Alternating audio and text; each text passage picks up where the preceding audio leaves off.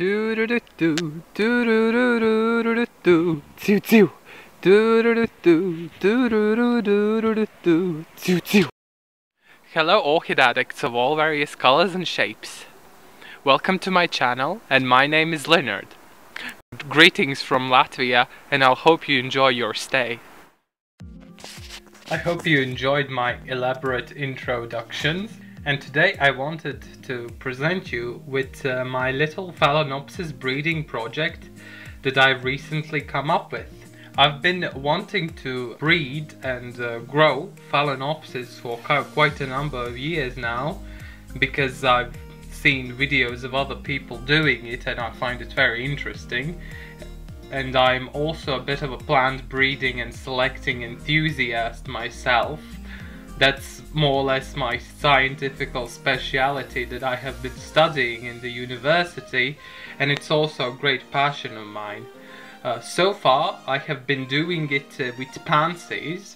I will, you know, put a couple of images up right now so you can see, you know, what I've already been up to. And I would really like to, you know, take this excitement to the next level together with orchids.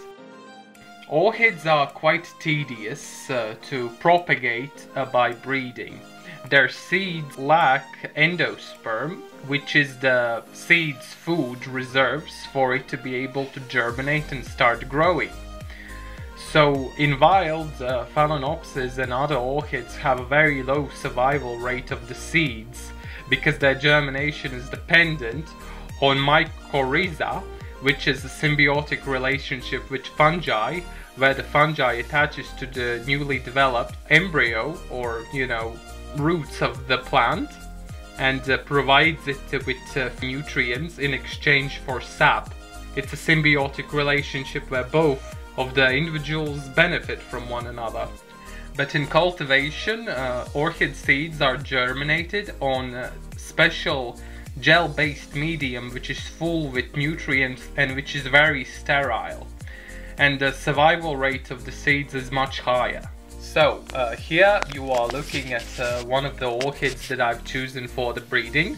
This is a no ID Phalaenopsis, uh, which is a Schilleriana hybrid, I suspect. And the other uh, parent is uh, my yellow Phalaenopsis that I identified to be Phalaenopsis Sogo Shito. And forgive me please for the low quality lighting. Today outside is a bit on the more sunny side, it's not entirely gloom and doom. But it's uh, already late afternoon and the sun is setting and by 4pm it's gonna be completely dark. So, uh, a little uh, why I choose these orchids for the breeding project. I'm going to zoom into this this uh, one uh, so you can just see it in better quality lighting uh, for now. Uh, this orchid uh, I've had had for the longest time. It's approximately 14 years old. It's a very typical and very uh, vigorous big uh, Phalaenopsis hybrid which has slight, slight leaf mottling.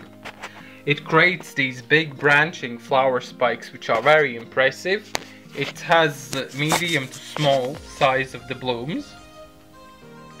And it's, you know, always pleased me, you know. It's a very, a very beautiful orchid, I think. Worth breeding, because it has quite a bit of vigorosity. It doesn't have any fragrance, though. And this is the other Phalaenopsis which I chose for the breeding project. This is the Sogo Shito, and as you can see it has a very vivid, very distinct golden orange color. The flowers are medium big and they have a thick waxy texture. It's what I would call a novelty hybrid. It also possesses a really pleasant, uh, medium strong, I would say, fragrance of uh, sugary lemons. It's a normal plant, it's quite vigorous, but right now my individual is quite set back because it has very little roots.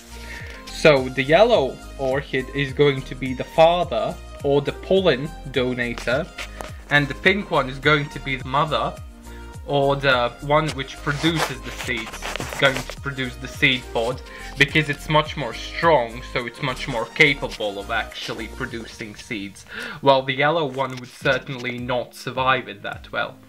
As you can see, my pink one is already starting to fade, and I think this is either because of uh, too little water, uh, or it is because of too little sunlight but I have nothing against it. I think I'll pollinate one of the younger flowers here. Uh, so, you know, they have higher chances of surviving and starting to produce seeds. Okay, uh, now I want to talk about what I envision, what traits I want the offspring of these two Phalaenopsis to have. It is known that while breeding Phalaenopsis, if you combine the pink and the yellow color, you can obtain shades similar to red. That's really exciting. But also, while breeding orchids, there usually you can obtain a very wide range of variation in the offspring, especially if the parents are hybrids, as these are. So, what I'm basically looking for is for very uh, floriferous, abundant branching uh, flowering uh, pattern and their uh, offspring, orange to red color blooms, mottled leaves, big leaf span, of course vigorous growth. I'm genuinely speaking very curious about what I'll get from this. This is going to be a learning process which I'm going to endeavor right now so I wouldn't be surprised with a certain degree of failure. But in any case, I'm very excited uh, for learning how to grow orchids from seeds and seeing what I get in the end.